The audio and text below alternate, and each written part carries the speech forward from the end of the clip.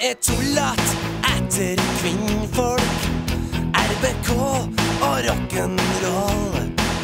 Jeg kjører best i raske biler, og jeg står aldri attfor tolv. Jeg hadde en jobb, men jeg fikk sparken. De sa jeg missa da det gjaldt. Men jeg har en kompis, samme stjerne. Han gir meg frikort overalt.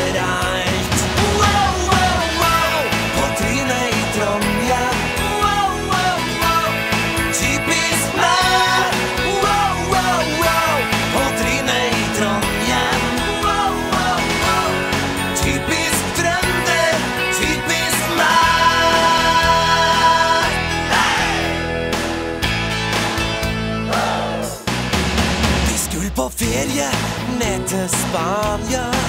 På sydentur for første gang. Og jeg hadde spart i mange måneder. Skulle oppleve piker, vin og sang. Men jeg tok en kivstern ut på Værnes. Hvite blekka da det gjaldt. Men jeg har en kompis som er stjerne. Han gir meg frikort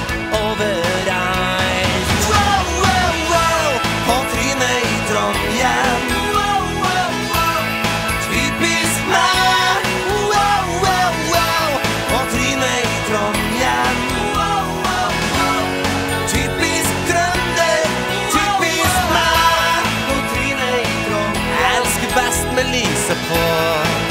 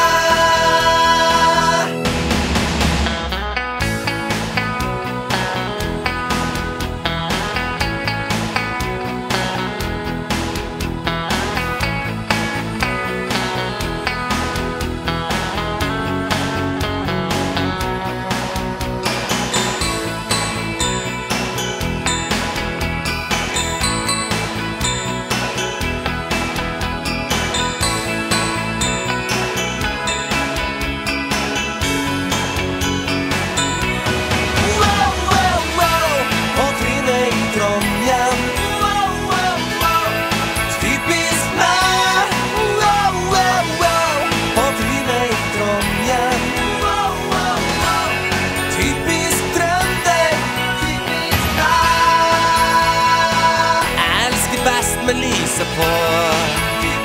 Meg. Wow, wow, wow, på trynet i Trondheim. Typisk trønder. Men jeg ser best med sokkene på.